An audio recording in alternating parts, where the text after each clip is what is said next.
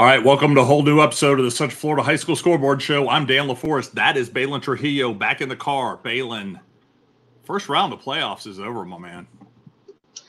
It is, and uh, not many upsets. I'll tell you, there might might be some minor upsets. Uh, I know there's one in Central Florida we're going to talk about a little bit, but overall, I think pretty much all the favorite teams won and they're advanced, and a lot of sets of a lot of rematches this week, which I know we're all excited about. Several rematches. So, oh yeah, um, Dan, I mean, this is this is it, man. Every week it gets shorter and shorter. Now we're only guaranteed four weeks left of football, and a lot of teams are only guaranteed yeah. one more. So, um, let's get into it, Dan. I'm excited about this one. No, no doubt about it, which includes a championship game. We're going to talk about it here in a minute. Um, but yeah, this is going to be a shortened version of the Central Florida High School Scoreboard Show. Um, and it's going to get to a point where this thing continues to get even more discussion. But you know what? Let's fly with it, Baylin. Let's start with the SSAA State Championship Masters Academy. Coach Kruzek they the Eagles take care of business. They beat Westminster Academy 34 to 27 to capture the SSAC state championship game.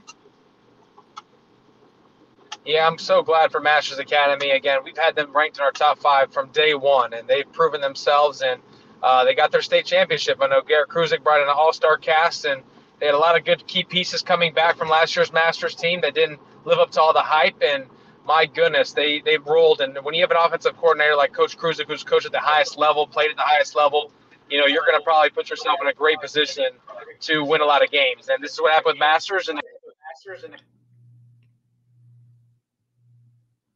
We lost Baylin for a minute there, but he's back. Uh, Baylin, let's move on. The SSA, the SSAA, excuse me, I forgot that wrong. It's the Sunshine State Athletic Association now how about Mount Dora Christian? The Bulldogs take care of St. Stephen's 28 to 7. Coach Colby Tackett comes back and in one year has done a great job with Mount Dora Christian. Yeah, man, I'm so excited about Mount Dora. They finally got over the hump and they got a championship under their belt now. And man, that's that's some big stuff for them. But going back to the Masters thing, I know I got cut off here. You know, Jackson Stetcher, the, eighth grader, led them to a state title. I think that's that should not be overlooked. And I'm you know proud for for what they've done and what he's done for that program. And Nazir is another special talent that led them to that point. But great job to handling two stud quarterbacks to help them win a state title and bring another championship back to Masters. So great job, Masters. And then Mount Dora Christian, congratulations. You finally got over the hump and you got yourself a ring. You know, Baylin, let's talk about that for a minute. We, we mentioned, you know, Jackson uh, Stetcher is a is an eighth grader. How significant is it for him and his development to have that kind of exposure so early on? It's massive, especially with how recruiting is now and the transfer portal and all that. But it's huge, especially for a kid like Jackson, because the the way the private school works, you know, kids are able to play varsity as eighth graders, and you, you get a head start on all these guys. Most guys don't see varsity starting until their sophomore, junior year. He's already at that level as an eighth grader, so and then to have that confidence to win a state championship, he hasn't even touched high school yet. So my goodness, you talk about the momentum he's going to have in his career, especially with recruiting, is off the charts. And of course, he's with a guy like Garrett Kruzik and myself as his trainer. You know, he's going to have a, plenty of opportunities, but this is such a great opportunity, and not many eighth graders can say they led a team to a state title. Yeah, no doubt about it. All right, let's get into some of these. The 1S regions actually had a bye week last week because they have smaller regions. So let's get back to our local teams. Halifax Academy goes to Melbourne Central Catholic for their matchup Friday night. Yeah, there was not even a, you know, I don't think it's going to be a close contest. I think Melbourne Central Catholic is going to handle business over Halifax. They've already got waxed uh, earlier in the season by this team and uh, and also Holy Trinity. So I don't see Halifax doing many of anything in this game, but they did have a great season. Hats off to them. I think it was their most wins in in a long over a decade or maybe program history. I'm not sure about that stat, but uh, great season then. But I think it ended Friday night. Friday night. Yeah, no doubt about it. Coach Bell's done a wonderful job there. Holy Trinity travels to Ocala to take on Coach John Brantley and Trinity Catholic. Yeah, we broke this game down last week. You know, don't let that record fool you. Three and seven for Trinity Catholic up in Ocala. Uh, I still think they're the favorite team to win this game. You know, you hold Brogan McNabb uh, to, to, you know contain him, and you probably win this game by a landslide. So it's going to be interesting to see how Trinity, uh, you know, handles handles Brogan, but at the same time, Holy Trinity has an opportunity to continue this great season that they've had as well. So it's going to be an interesting matchup, but I do think the better team here is Trinity Catholic, just you know, regardless of record. And we move on to 1M Region 1, University Christian Jacksonville uh, plays at Trinity Christian in Jacks, but uh, OCP, outstanding season. You know, one loss. They're going to host Providence out of Jacksonville this Friday night. Yeah, the only two games I really remember about Providence is one of them earlier in the year they played Masters Academy uh, in a close matchup there. So you know, and another one is another Jacksonville team school that uh, that I forget the name, but I think they're pretty good. I think Providence has a couple guys going Division One as well, but I do like OCP here. I think OCP does take care of uh, business over Providence, but regardless of who wins or loses this game, their season's over next week against Trinity Christian. But let uh, playoff win is nothing to, to take lightly. No, and the Anderson the Anderson boys are doing really good. Had had a great season for OCP in that running game, so it's going to be exciting to see how they control the clock. All right, we're in the 2S Region 2. Atlantic Port Orange goes up to Bradford to take on the Tornadoes, and it doesn't fare very well for the Sharks, 42 to nothing. Yeah, great season for Atlantic. The running back we talked about a little bit last week. He's a surprise talent in Central Florida. But yeah, Bradford was, was way too much. And regardless, it's all setting up for a big matchup against Cocoa later down the road. And either one of these teams aren't ready for that that test. So, but great job to Atlantic, great season. But uh, Bradford showed that they're the better team, and they play Eastside this week. No doubt about it. And, you know, Coach Squatty Bell and, and, and the Sharks, outstanding season, district champions. Great job, guys. Now, the rest of this bracket is out of our area, but this is going to end up sizing up here in a few weeks because we know who's on the other side of that 2S bracket in Cocoa. So East Side takes care of Palatka 28 to 27. Yulee beats Keystone Heights 36 to 10. And Baker County takes care of Baldwin 38 to 21. That sets up this Friday night. East Side and Gainesville heads over to Bradford to take on the Tornadoes. Baker County heads to Yulee, and that's going to set into 2S Region 3, where the Cocoa Tigers took care of business against Eustis 54 to 7, Baylin.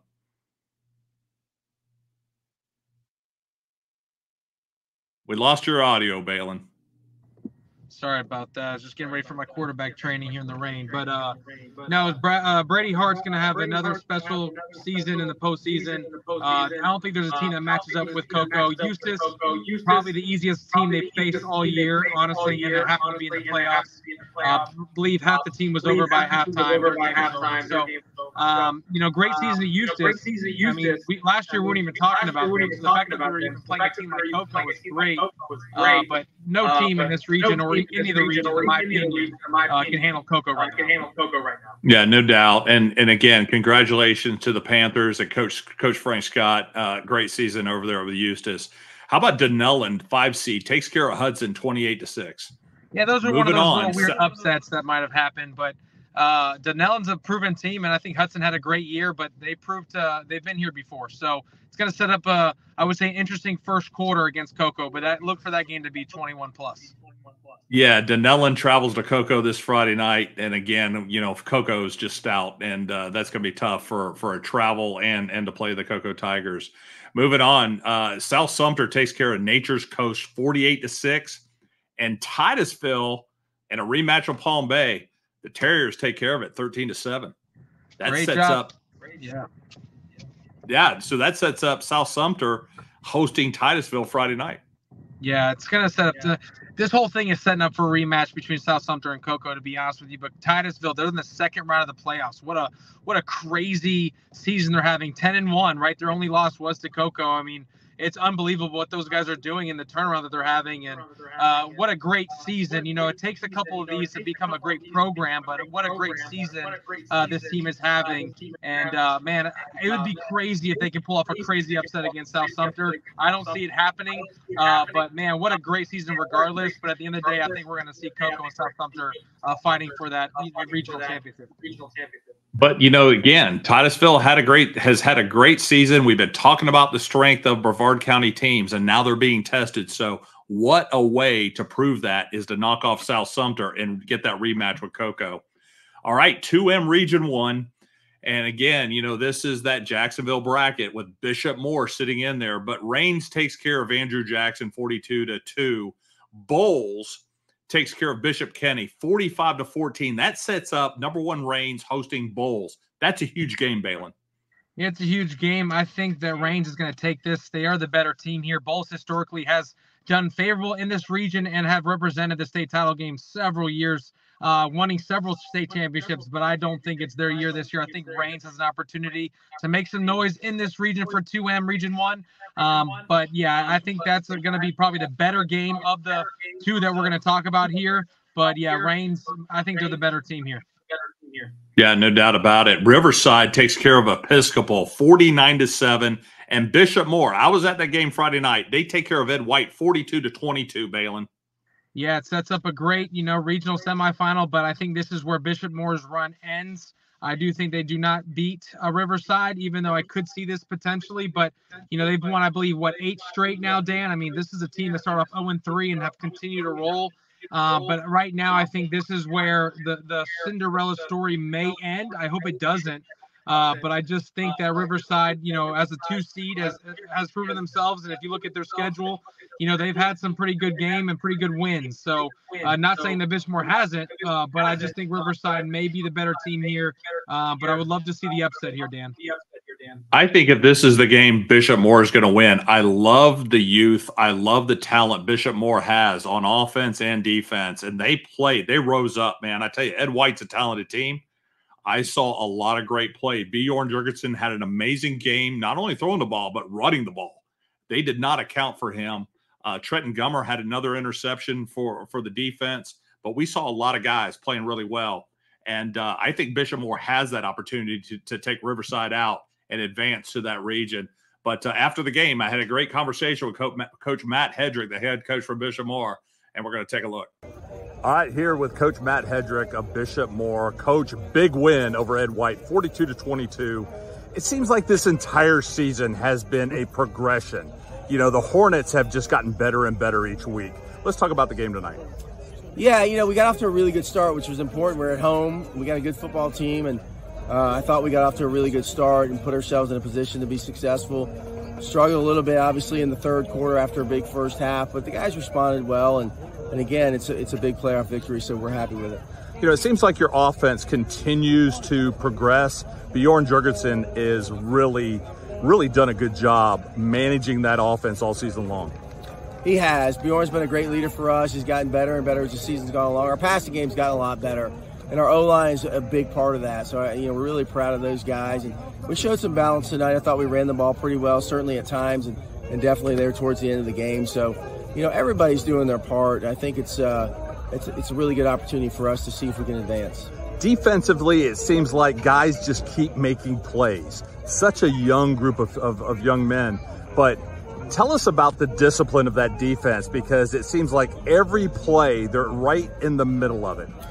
Yeah, we talk about discipline all the time, and quite honestly, we struggle with it at times. Like you said, we're a young team and we got a lot of moving parts, but you know, the guys are working really hard and they run to the football and they're pr- pretty opportunistic, and that's what it's all about. You know, it's sort of a, you know, bend but don't break mentality sometimes and make the guys, make the other team snap it one more time and stay in the football game that way. So they did a good job of that.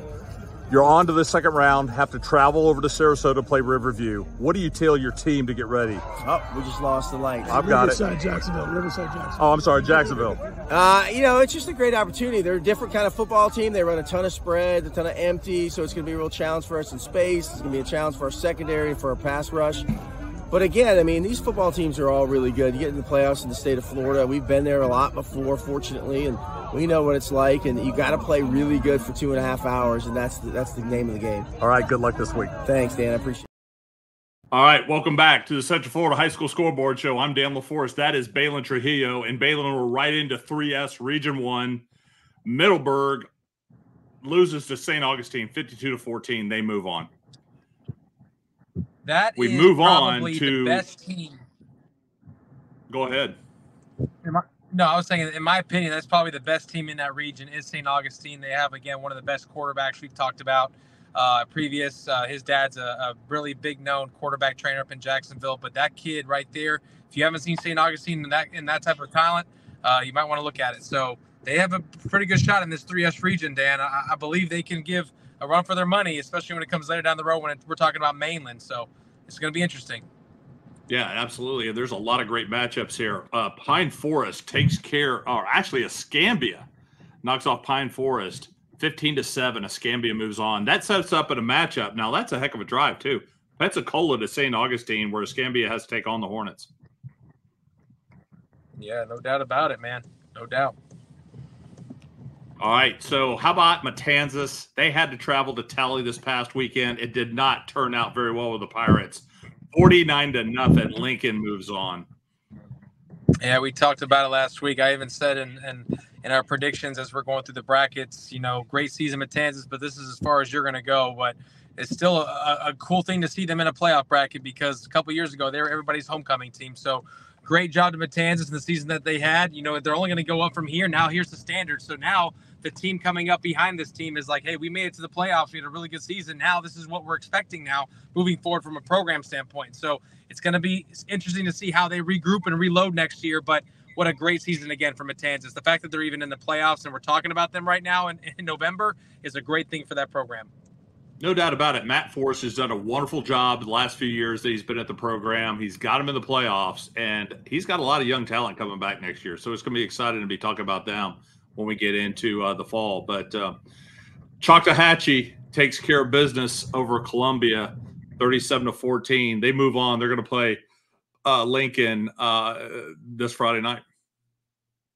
Yeah, like I said, uh, Lincoln is going to, I have a feeling it's going to be Lincoln and St. Augustine in the regional final. Uh, but this could be a, a, scary game for Lincoln. This could be a trap game, uh, an upset, what we'd call it. But uh, I, I, do like what Lincoln's doing over there. I know some of their coaches on their coaching staff, and they have a really good, solid program over there. Run really well every single year. Um, look for them to escape uh, this team coming up on Friday. But I believe it's going to be St. Augustine and Lincoln, and we're going to see a, a, battle of two great quarterbacks, and probably St. Augustine's going to take it in this region. But great football to be played in this region. But unfortunately, our Central Florida team Matanzas is out, so we probably won't be talking about them much longer. Yeah, at least still further on down the road, but I disagree. I think Coach Beasley and uh, Choctawhatchee, the Great Big Indian, they're going to take care of business and move on. And and you know we potentially and and I tell you, Baylin, that's a place I that's on my bucket list. I want to go to Choctaw and watch a home game down there because I heard it's lights out. Well, take me. All right, let's move on to 3S Region Three in mainland. Baylin, we talked about this. Lake Mary was a wake up call for them. They absolutely blank Satellite 62 to nothing. Mainland is the best team in 3S. There's not even a question about it. Yes, I know they got spanked by Lake Mary, uh, but that was what they needed. Honestly, I think they were getting a little big headed. I feel like the the the just the era around the program and some of the coaching, you know, it was just a little cockiness, but they got humbled real quick and they, you know, they have the talent to beat every team. They even have the talent to beat Lake Mary. It's just they got spanked. And so now you're starting to see the trickle down effect of these guys taking it serious and like I said, the 3S is is mainland's to lose. So it's we talk about the Alabamas of the world every year. It's their it's their year to lose. You know, it's up to them to lose, right? It's up to mainland. The, the only competition that they have, honestly, is themselves. So if they continue to do what they're doing, if DJ Murray keeps doing what he's doing, and if LJ McCray continues to scare people uh, in the backfield, look for this team to blow out everybody in this whole entire region, and that includes Rockledge. I do not think Rockledge is going to get past mainland this week. I think it's going to get ugly. Uh, great job for Rockledge even to be in this position you know, early on in, in the playoff segment, you know, I did say Rockledge was going to win, but it's still a shocker, right? Because they're just not having the year that we're used to seeing. But look for Mainland to put it on them uh, this Friday night. Yeah, talking about Rockledge, they take care of the number four seed Jensen Beach, 19 to 16. A lot of questions about Rockledge, but now they find themselves in that seat, going to Daytona right now to play the Mainland Bucks. And a lot of people think that Rockledge has a shot here, Baylin. Yeah, because they're going based off history. History shows that Rockledge is always a powerhouse, and they still are. They're still a name to be reckoned with over there on the East Coast.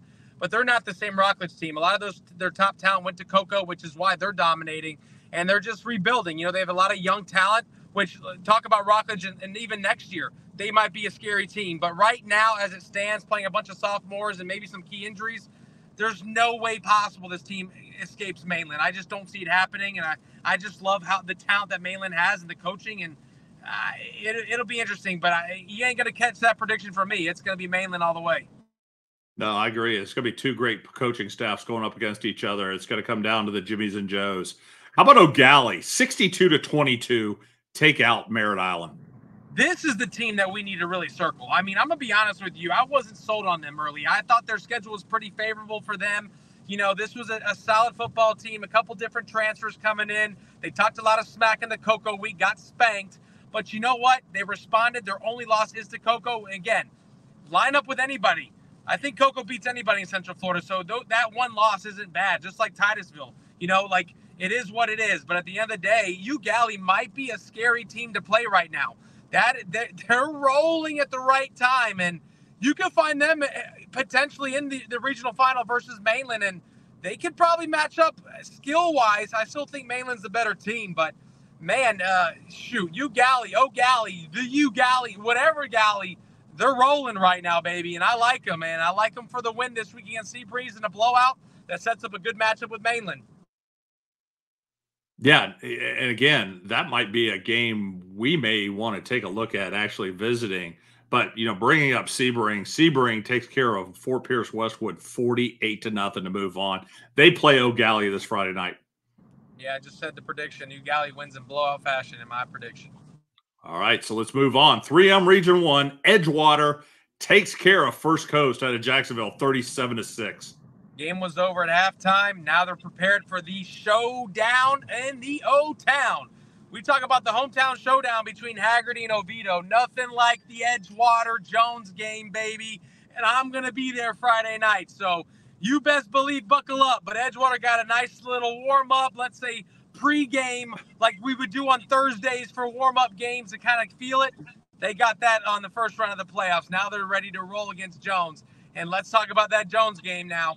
All right. Well, I was about to say, slow your roll there, Baylin, because Jones took care of Oviedo over in Oviedo, 33 to 7. That sets up a rematch. Edgewater Jones. Edgewater won this game a few weeks ago. But is this the same Jones team they played? No, I mean it is and it's not. So it is because we know the, the magnitude of that football game. Jones definitely wanted to win. Edgewater punched him in the mouth. They took advantage over five turnovers, right? So any game like that, we talked about the Mandarin Lake Mary game, but now we talk about the Jones Edgewater game with turnovers. Do they do that again? That's going to be tough to beat a good team twice. And Jones right now with I believe seven straight wins in blowout fashion this is not the team to play with in the playoffs. I believe the winner of this football game will advance to the state title game. They're going to roll through all the Tampa teams. They don't see competition like Edgewater and Jones does every week. So look for this to be a, a somewhat state title game on this Friday night at Edgewater. And I love the matchup. And like you said, they took care of Oviedo. Oviedo is a solid football team. They have a great quarterback in Jackson Latour. Coach O does not get blown out often. But guess what? There are two marks on his on his resume, and both are blowouts to Jones High School in the playoffs. So Jones is not a team to, to take lightly. And I love this matchup, Dan. I am so looking forward to Coach Duke versus Coach Will this Friday night, baby. And just trust me, be ready to look at your phone because there's going to be a lot of scoring updates in this one. You know, it's going to be an exciting game, but let's remember last year we're in the same boat, right? Edgewater takes care of the business during the regular season. Jones beats them, knocks them off, ruins their undefeated season. Yeah, right now, bad. they're undefeated again. This is a significant game that everybody in the state of Florida is going to be watching. All Dan, right, let's move on. Dan, Armwood. Dan, Dan, new team with a new quarterback. That's all I'm going to say about the Edgewater team. They have a new quarterback at the helm, and I believe Michael Clayton is the real deal. I'm telling you, it's a different football team. Last year, if Michael plays, I don't know if it's changed the result, but the score might have been closer. So now that Michael's there, look for Edgewater do really good in the pass game, keep it very balanced. But like I said, Jones is scary, brother. Jones is scary. All right, let's talk about that Tampa region. Tampa or uh, Armwood takes care of Wharton 20 to 14, a little bit closer than what we thought, Baylin. Yeah, Armwood's battle tested, man. If you look at their schedule, they have won some pretty close matchups. They win when it's close, and that matters when we talk about postseason. Armwood finds a way to win. That's how you get it done. That's how you win championships. You got good teams find a way to win. The Patriots, when Tom Brady was at the helm, they weren't blowing everybody out, but they found a way to win. Armwood's one of those sneaky teams. They have always been in a state title contention. If you drive by their stadium on I 4 on the way to USF or even to Clearwater, you will see all the state championship and the years and all the regional championships and district championships all posted around the entire school. You can't miss it on I four, Dan. They know they know how to win football games. Coach Davis is a solid coach. He wins, he wins, he wins, and they got it done again Friday night. No, and Tampa Bay Tech takes care of Fletcher, man, fifty-one to thirty-four. That sets up that rematch. Armwood won this during the regular season over Tampa Bay Tech. Yeah, look for the same result here, Dan. Tampa Tech goes down. It will be Armwood versus the winner of Jones and Edgewater. And I don't care who it is, it could be Tampa Tech. None of those teams are getting past our Central Florida teams. We will have a Central Florida representative in this classification, in my opinion, Dan. And it's going to be. All right, Baylin, do we get a prediction out of Edgewater Jones? Or are you holding off on this? you know what? Gosh, I want Jones to win, but I do believe this is Edgewater's special season. So uh, you can read between the lines, but I, I can't go against Coach Will. But Edgewater, this is the year for them, and they they got to get it done. All right, we'll keep those receipts, man. Let's move on. 4S Region Two, Lakeland takes care of Mitchell, forty-nine to seventeen. Lakeland, they're they're you know they're the team to beat. You know, if, as far as from that standpoint, you know I don't see them getting much of a hiccup until they see an Edgewater or Jones. Um, but yeah, Lakeland is, is is just rolling right now. No, I listen. Lakeland's the champion until they're not, right? Um, Winter Haven falls to Bartow. Bartow did a wonderful job. I, I tell you, Bartow's sitting really good, but they win seven to nothing. Bartow, all Polk County showdown. Bartow goes to Lakeland. I have no idea, Dan, why I was so hype on the Edgewater Jones. I have no idea why I even said that. There's no way they, these teams play each other. Uh, I was just saying, you know, from a Lakeland standpoint, they're the standard. You know, I'm very curious to see a rematch with Lake Minneola later down the road because I do believe Lake Minneola is going to reach the uh, the regional final. Uh, but yeah, Bartow, what a special season they're having. You know, they kind of went in a little slump there after starting off so hot. They got blasted by Lakeland early in the year. This is a rematch game. I don't see it going any other way besides Lakeland's way. Uh, but great season for Bartow. They have a new uh, new head coach, and those guys are yeah. finding Tyler Eden's well. done a great job in his first yeah. year, Baylin. Yeah, I believe it. So but I just don't think they get past Lakeland. Bartow's uh, season ends Friday night, but uh, but what a good year. I mean, they get a first round, uh, you know, escape, and now they got to face Lakeland. So good luck. All right, number two seeded Lake Minneola takes care of business against number seven Haines City, thirty-five to sixteen. Our guy Hassani Harper said he didn't believe Haines City had enough to play against Lake Minneola, and he was right. Yeah, I believe Lake Minneola is a scary team. We will see a rematch, Lake Lake Minneola and Lakeland uh, for the regional championship. I believe so in two weeks. I believe Lake Minneola will take care of Wiregrass. Now, Wiregrass has one of the best quarterbacks in the entire state. I train him. Luke Knight, the Army commit. They take care of Springstead. This sets up a pretty good matchup from a quarterback and offensive standpoint. I love Lake Minneola's offense. I love their offensive line. My goodness, as a quarterback, I'd love to stand behind those guys. Uh, obviously, Coach Banks has a well well coached defense every single year. He's been in the state title game. Wiregrass Ranch has not in recent years, so that might be the difference maker of being in the stage like this. Uh, but Wiregrass Ranch has a quarterback that has won a state title when he was at Jesuit as a sophomore. So look for this kid, Luke Knight. Again, that I, I believe he's the number three passer in the entire state of Florida right now. He's a D1 Army commit. Uh, but I just love Lake Minneola and what they got going on. I think they're just too talented up front, and I believe they take care of business, and we will get that rematch with Lakeland. Yeah, no doubt about it. I think Wiregrass Ranch. You you, you brought up uh, Luke Knight. Luke Knight is one of the top passers in the state of Florida, and Lake Minneola is going to have a hard time slowing down that passing attack of Wiregrass Ranch. All right, let's move on to 4S Region Three. Osceola falls to Treasure Coast, 49 to 17. I said this was a sleeper team, Dan. I was wrong. I will say it.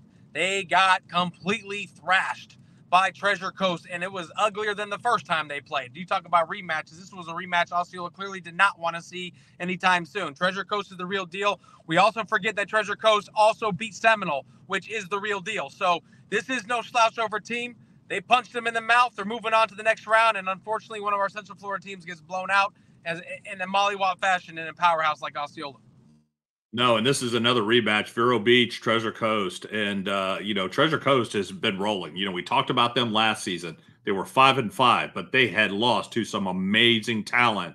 They have turned that corner this year, and I think they're going to be tough for Vero Beach to take down. Uh, let's talk about that Vero Beach, though. Heritage, Palm Bay, they lose to Vero Beach 28 to 17 to, to, to get that matchup between Vero and, and Treasure Coast. Yeah, Heritage is one of the teams you really like, Dan. You thought they were they were better than what they showed against Oviedo, and, and Oviedo got the win. But you said this team is legit, and uh, unfortunately, they ran into a team loaded with Division One talent, a quarterback that's committed to SMU. This is no slouch over team. Vero Beach is a solid football team, and what a great season. Regardless of the outcome, Heritage had a phenomenal year. They won their district. They're still championship. They're still champions. Unfortunately, it ain't going to be state champions, but man, Vero Beach and, and Treasure Coast, that's going to be another heavy hitter in the second round of the playoffs, Dan. This this region, nope. you got to earn everything, and this is this is a big one. Yeah, and Orange City University, their magical season continues with Coach Justin Roberts, forty-two to nothing over New Smyrna Beach. The Cudas go down. Cudas go down. They start off what I believe five or six and zero, oh, and we said it, Dan. Their schedule was weak. We love talking about them, but every time they played a big opponent, they get spanked. So you know, this was another situation like that. They don't even score. They don't even get close to scoring in this one, Dan. So, you know what? Great momentum for a University of Oro City because guess what? Now they find themselves in a rematch with Deland, and guess what happened last time they played each other? Deland, hey, and, yeah, and, and, here's the thing, right? We talked about Deland Spruce Creek. It was a rematch. Deland wins 35-25, but it was close all the way to the end. Yep, Deland, they squeaked it out, but guess what? Now they got University Orange City. Now University is the higher seed here, but I believe Deland's the better team here. And I believe that the same result's going to happen. They only held University to three points. Three points, Dan, the first time they played each other. So if the Deland defense continues to do what they're doing, I don't see any problems here. I think Deland with TJ Moore, that kid is unbelievably talented. With Rick, with Darlington, I don't ever bet against Darlington. You already know as an Apopka guy, you don't bet against Darlington in the playoffs watch Deland somehow, some way find themselves in a Final Four situation because he's been there before. So this could be a weird little deal here because I love the way they're they're set up. They got to beat University, which I think they will, and then an upset over Treasure Coast or Vero Beach sets them right in the Final Four. Dan, I love Rick Darlington and Deland here, and I think they take care of business against the higher seed University Orange City, just like they did in the regular season. So two points I'm gonna make about this game. Number one, Pine Ridge fires their head coach Eric Pointer, which was ridiculous in my opinion. Dumbest okay? thing I've ever heard. Dumbest thing I've ever heard. Straight up, and he didn't want. to guess where? Guess where Coach Pointer ended up this week? Wait. He's at Deland. Nah, don't even don't do that. He's at Deland. You're telling me that Pointer will be on the sideline, Deland versus University of Orange City. Now get now here's the other curve to this to this game. Where what? are they playing the game, Baylin? Do you know where they're playing the game? Don't tell me it's at it's at Pine Ridge's field. Please do not say that. Oh no no no! It's at New Smyrna Beach because Orange City University doesn't have the stadium to facilitate a playoff game, and they won't play at Deland. So they're playing. Both of them are going to New Smyrna Beach. hey, great. You know what? Hats off to Pointer. Uh, he won in this situation because you know what? Oh, big time. Pine Ridge, they screwed up. They had a good guy. They had a good year, man. We were talking. I believe they started off unbeaten for a while there, and it's like, whoa, where did Pine Ridge come in? Of course, they lost some some big games, but according to Pointer's po- post on Twitter, which he took down, I believe he wanted to keep it professional. But at the end of the day, he did not want to leave. He wanted to be at Pine Ridge. It's going to be hard to get a guy like that in a, in a in a program like that. They brought life to that program. Now they're going to go right back to I'm gonna be I'm gonna be honest, below average. So you know, great job to Pointer. You won. I'm telling you, won. Ride this tail. You're going to be under a good coach. Learn from him and keep moving forward, baby, because they they, they did you wrong. I'll say it first. I, I don't disagree. Listen, Coach Pointer's been around the block. He's been at Edgewater. He's been at a number of programs. He was at Deland before years ago. Yeah, he was at he was, and, he was recently at Lake Howell. At, uh, at Lake Howell for a long time. Yeah. Absolutely, absolutely, and to get his first coaching opportunity, you're right. He did a wonderful job at Pine Ridge. So we li- we wish Pine Ridge all the luck in the world. All right, let's get on to 4M Region One, and let's talk about the game. Lake Mary, who's a number one seed, had to go to Boone, who's a number eight seed, and Boone was beating them until about what a minute and 20 seconds left in the game. Lake Mary comes out 42 to 38 great teams win big games no matter what it is. And you know what? Boone is the perfect example on why everyone loves high school football. They are the perfect example. Why? Because nobody gave them a chance to win this game. They thought it was going to be a mollywop. I even called it a mollywop. I said the only boo that's going to happen that night is the boos from the fans because how many times Lake Mary was going to see the end zone. Now that did happen, Dan. Noah still had a six touchdown performance with five touchdown passes and a rushing touchdown, so there was a lot of scoring. But Boone was doing the exact same thing. So what a match this was! I will give my hat. I look. I'm taking my hat off. I take my hat off to Andy Johnson, Coach Walters. You know their their quarterback coach over there, uh, Coach O'Connell. I those guys had the perfect game plan against Lake Mary, and what happened? They fumbled the bag, just like they fumbled the season. They had it right there in front of them, Dan. If they hand the ball off, they probably win the game out, run the clock out. But because they got too antsy, the ball squirted out, hitting the fullback in the right shoulder. The ball pops out. Lake Mary gets a shot, and guess what? You gave Noah the ball with three minutes left, and that is a disaster waiting to happen. And sure enough, dink, dink, dink, touchdown, ball game. And man, what a awesome effort by Boone High School. I want Boone to get all the credit for this game. Granted, Donnelly called a great game. Coach Scott Perry obviously won. They're advancing, but man, Andy Johnson went straight old school football, hit him right in the mouth in the trenches. Coach Walters had those guys coached up. And my goodness, they said, beat us in the trenches because we're coming right at you, Lake Mary. I don't care if you're number one in the entire state of Florida. We're coming at you and they did that and they executed perfectly. Aiden Mizell or uh, the Mizell brother, four touchdowns in the air. Sam played a phenomenal. Johnson, yeah, Sam Johnson, well. that was his coming out game, no My doubt about goodness. it. Four touchdown I want to brag. I just want to brag about Boone because I, I, can't believe what I saw when I was watching it on NFHSA Network. Shout out to them. They're showing the playoffs. If you don't want to pay eleven ninety nine, that's a quick shout out. Subscribe. Hopefully they can sponsor me so I can get some free TV time. So, but anyways, my goodness, Boone High School, great job to them. But Noah Grubbs advances with Lake Mary. Scott Perry better thank his quarterback because my goodness, what an effort he had that night. I tell you what, two great quarterback play, but I, I agree with you. Coach Johnson and his coaching staff, what a game plan and way to fight Boone Braves. Perfectly executed. Perfectly. All right, Winter Park hosts Mandarin, and Mandarin comes in 29 to 16, takes care of the Wildcats. 22 to nothing, Dan, was your score in the first quarter. After that point, Winter Park was scr- scratching their way back in the game.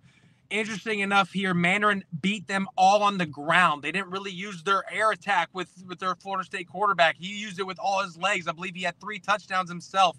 You know, there was a couple turnovers there. They, for some reason, they have the turnover bug, which we saw that in Lake Mary in their first matchup.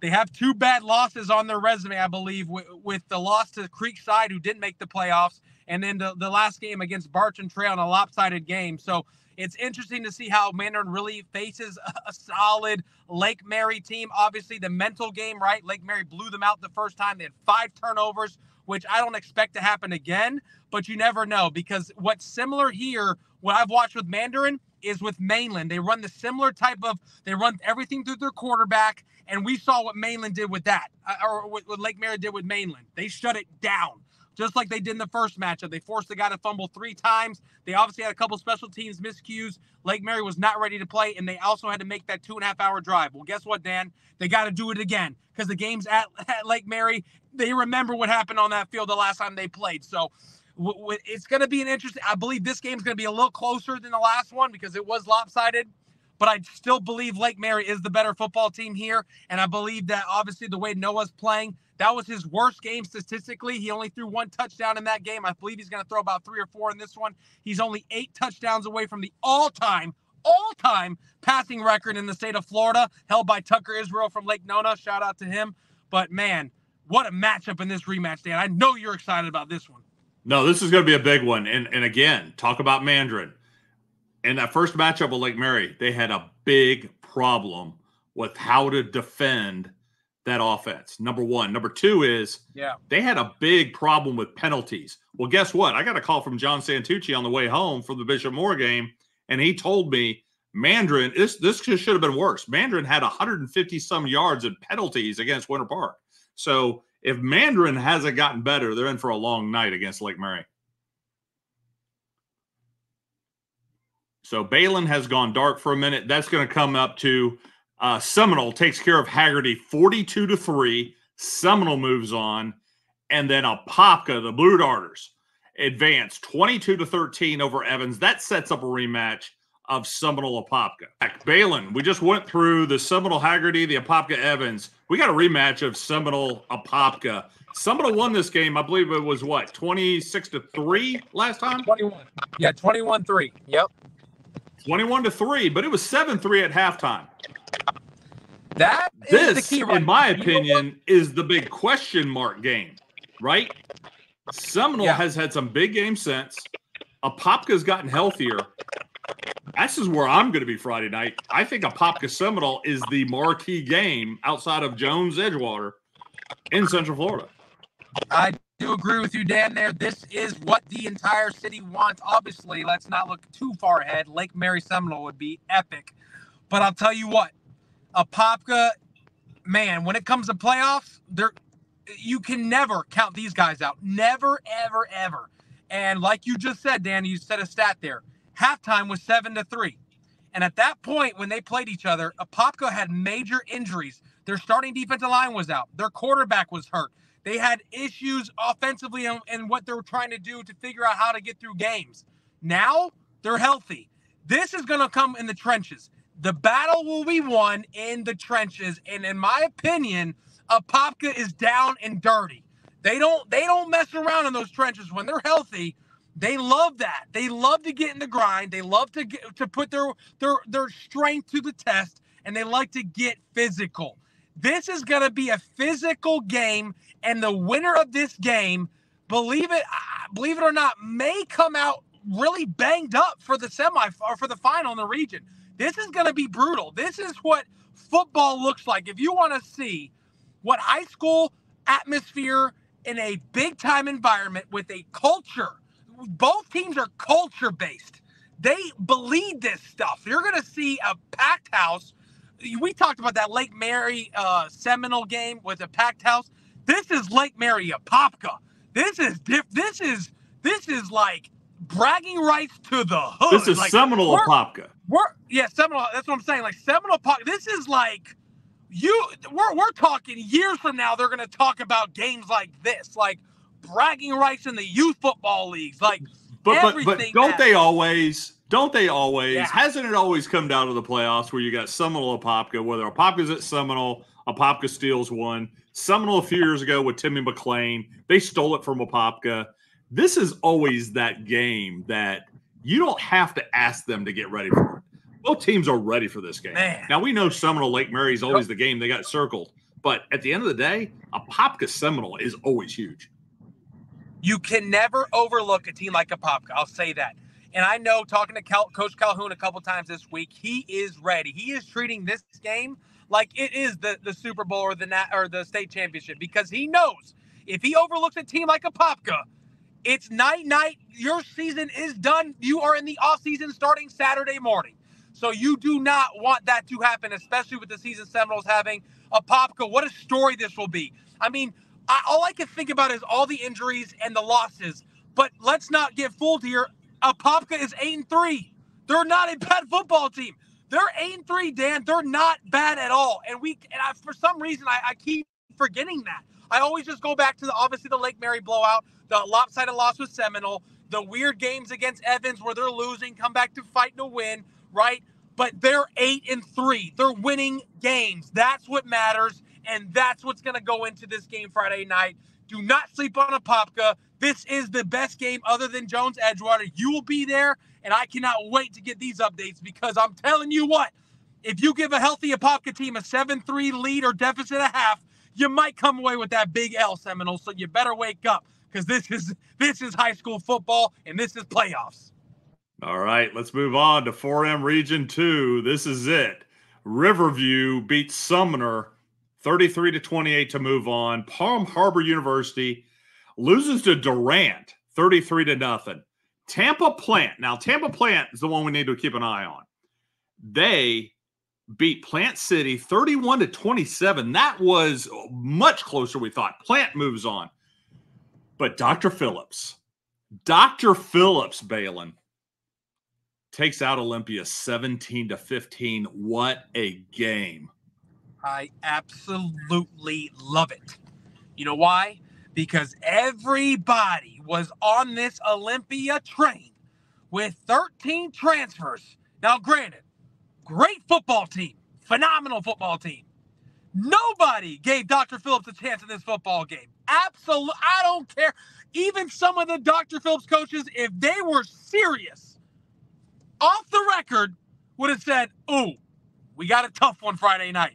And they came away and shut down the paper champions and sent them home packing in the first round. I was shocked.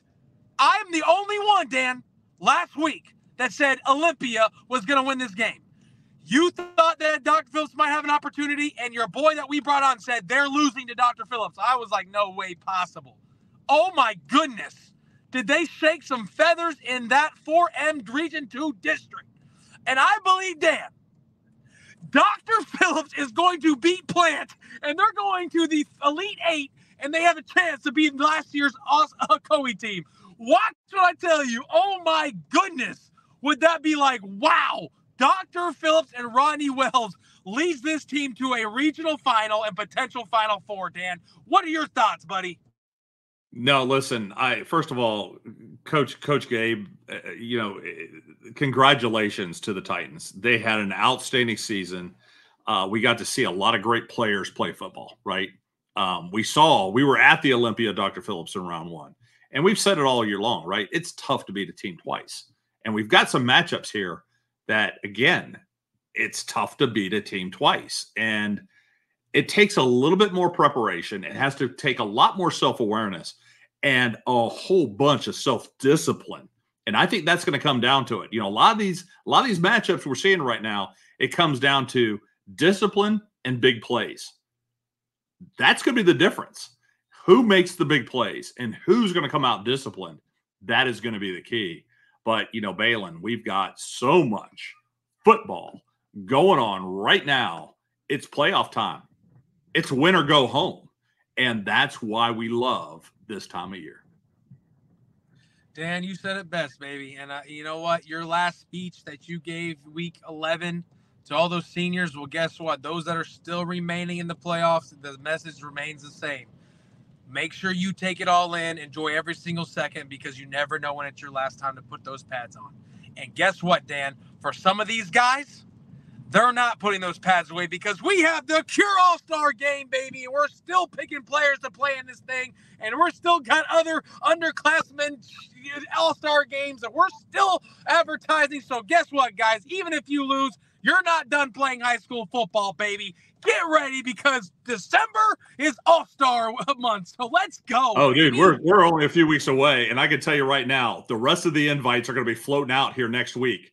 We're finalizing the rosters, all three games: Seminole, Volusia, Flagler, Orange County game, Lake Osceola.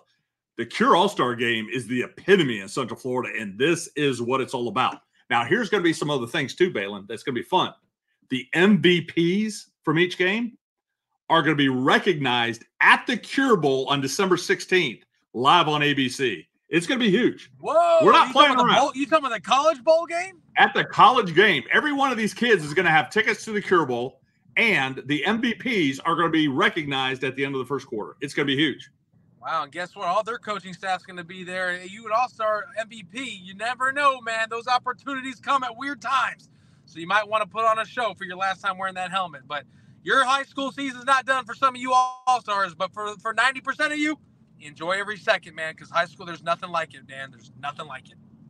Yeah, so if you ain't got an offer yet, get ready because you're going to get a big stage opportunity to to show your stuff. And with that, with the recruiting fair and everything that's going on, we got Dwight Thomas coming down from Jacksonville in February. We got almost 80 schools coming in Division Two and Division Three looking for players. There's so much going on, and that's what we do well, Baylin, that is it, man. We've got to get ready for these games on Friday night. Closing thoughts?